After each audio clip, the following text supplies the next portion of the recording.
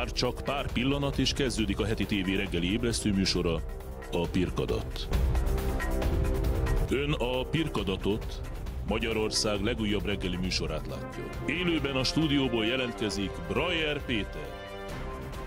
A Pirkadat mai vendége Dr. Péter Falvi Attila, a NAI elnöke. Szép jó reggelt Jó kívánok. reggelt kívánok!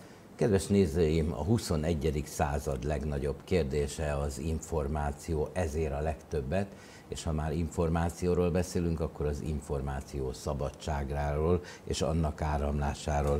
Ebben a témában ennek a napnak volt a nemzetközi napja, szeptember 28-a. Mit tud erről nekünk mondani? Hát igen, ez egy érdekes kérdés, hogy mennyiben értékesebb az a, az információ, ami közérdekű adatokhoz kapcsolódik, mint a személyes adatokhoz. Egy becslés szerint 2020 után az Európai Unióban a személyes adatok értéke évente 1000 milliárd euró, míg a közérdekű adatok értéke az 2000 milliárd euró évente, ami ennek a, az elemzések újrahasznosítása során a gazdasági motor lehetne.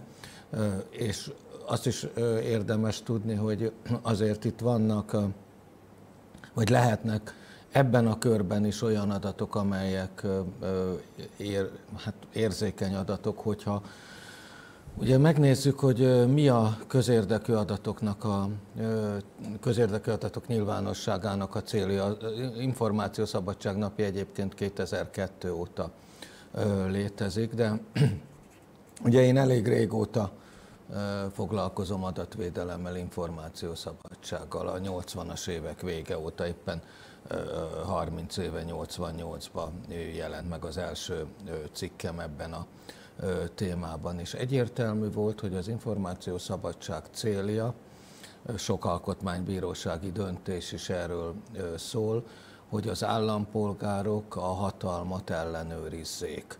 Ugye a rendszerváltás előtt, meg ma is túlnyomó többségében, ma is egy ilyen helyen ülünk itt, ami közérdekű adatokat is közvetít a hallgatókhoz, nézőkhöz, de hogyha nem csak a tények hangzanak el, hanem egy értékelés is, akkor valamilyen szemüvegen láttatja a világot. Nyilván olyan szemüvegen, ami az adott csatornának a hozzáállása. Viszont ahhoz, hogy lehámozva jussunk hozzá információkhoz, közvetlenül is ezt megszerezhetjük, és akkor mindenfajta kommentár nélkül megkapjuk az információt. És ezért mondja azt az Alkotmánybíróság, hogy a jogállam úgy működik, hogy az állampolgárok információt kérnek, megkapják, és az információn keresztül ellenőrzik a hatalom működését. Ezért mondta azt az Alkotmánybíróság, hogy ha az információt megtagadják, meghamisítják, akkor nem működik a jogállam, mert nem működik ez az ellenőrzés. Ezért volt fontos adatvédelmi biztosként az egyik legfontosabb állásfoglalásomnak ebben a körben született a Balatonöszödi beszéd kapcsán egy állásfoglalás, ami szintén erről szólt, hogy az információnak pontosnak kell lennie.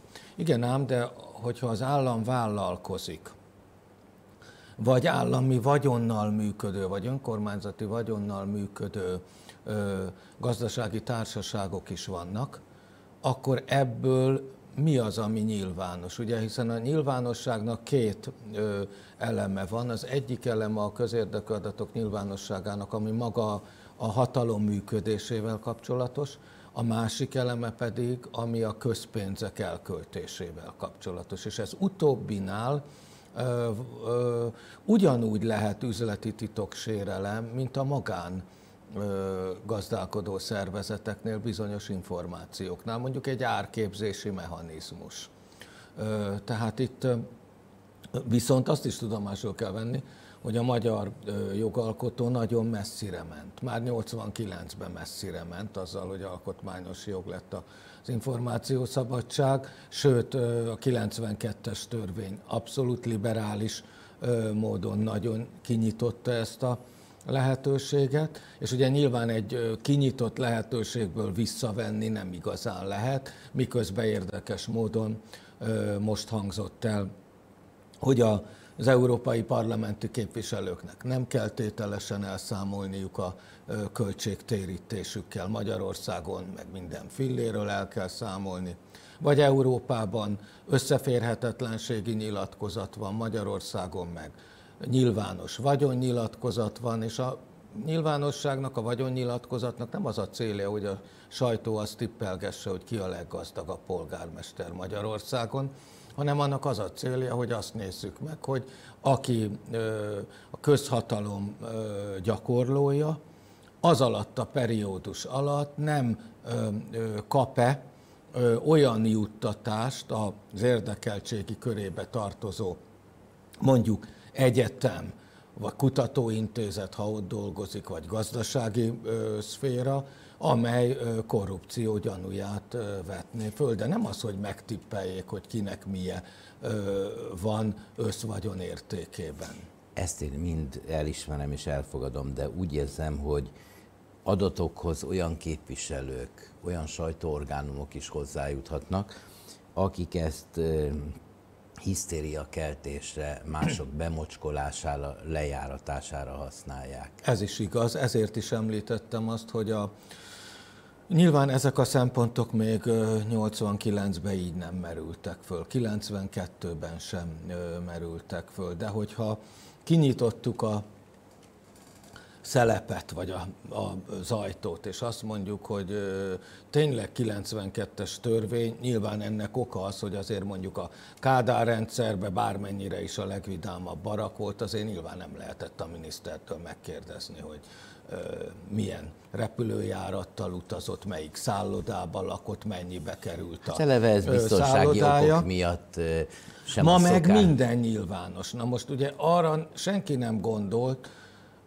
hogy a joggal nem csak élni lehet, hanem nem visszaélni, visszaélni. is lehet, és egy alkotmányos jognál, amikor ennyire kapcsoljuk a demokráciához, jogállam működéséhez, akkor elég nagy, nehéz kivesézni azt, hogy melyik pillanattól minősül visszaélésszerű joggyakorlásnak, miközben tudjuk, hogy el lehet lehetetleníteni egy, egy ö, ö, intézményt, ha naponta bombázom közérdekű adatigénylésre rá kell állítani egy teljes stábot, hogy azokat előkotorják, tehát nem csak rendeltetésszerűen lehet a joggal élni, és ez a legnehezebb kérdés, hiszen ha bármi történik, azonnal fölmerül a gyanú, hogy ez a titkolózást akar jelenteni, vagy a hatalom titkolózni akar, miközben ha megnézzük, az európai sztenderdek közel se olyan széles körben biztosítják az adatokhoz való hozzáférést, ahogy mondjuk a magyar jogszabályi megoldás.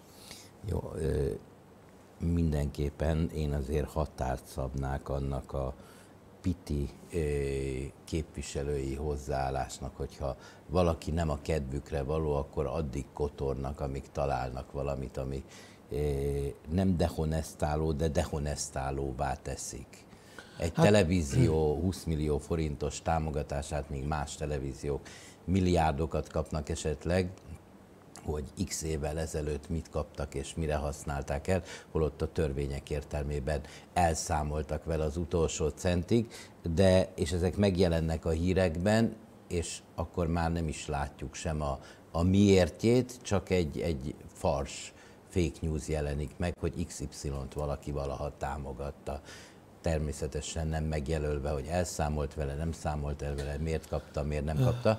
Tehát tulajdonképpen... Politikai célra is lehet használni, valóban így van, miközben az eredeti célja enyhén az információszabadságnak a hatalom a... ellenőrzése az állampolgárok által, de most tényleg azt gondoljuk, hogy vasárnap a reggeli kávénál Mari néni meg Józsi bácsi arról fog beszélgetni, hogy egy állami tulajdonú vállalatnak, vagy állami részesedésű vállalatnak milyen árképzési mechanizmusa, vagy abból a körből minek kéne, milyen számláknak kéne nyilvánosnak lennie. Tehát a, valóban így van, hogy, és abban a pillanatban, ha egy jogot visszájára fordítunk, és mondjuk egy nagyobb nyilvánosság az állami gazdálkodónak, aminek konkurenciája van, és a nagyobb nyilvánosság számára hátrányt okoz a piacon, akkor az alkotmányos joggal hátrányt okozok, és nem az a célja, hanem pont az a célja, hogy az állam, mi vállalat nyereséges legyen, mert az hozza a profitot. Ha ezt megakadályozom azzal, hogy mondjuk minden egyes pénztár bizonylatát kiteszem az internetre, miközben mondjuk a konkurenciához csak x időnként jut el az adóhatóság, és ugye azért a, tudjuk, hogy a, bár ez egy vékony jég, de azért mondjuk egy adóelkerülésnek vannak legális módja is. Ki lehet kiskapukat is használni, lehet olyan megoldásokat találni, amelyek jogszerűek, de más esetleg nem gondol rá, és nekem előnyt jelent. Tehát minden lapot felfedni csak azért, mert abba a vállalkozásba állami tulajdon is benne van, ez nyilván akkor a hátrányt is tud okozni. Tehát nagyon nehéz összehangolni az eredeti célt és a konkrét megvalósítást, főleg azzal is számolni, hogy mondjuk ne politikai vagy más gazdasági lejáratásra Innét folytatjuk jogi ismeretterjesztésünket legközelebb. Legközelebb a témánk folytatjuk a GDPR-nál és még szerteágazó dolgoknál. Most, ha jól értem, akkor két hétig nem látjuk. Három hétig. Három hétig, akkor három hét múlva ugyanitt. Kedves nézőim, a NAIK elnökét, dr. Péter Falvi Attilát látták és hallották. Most előzetesek, és már is következik Tordai Bence, a PM országgyűlési képviselője, jegyzője. Tartsanak velünk! Köszönöm!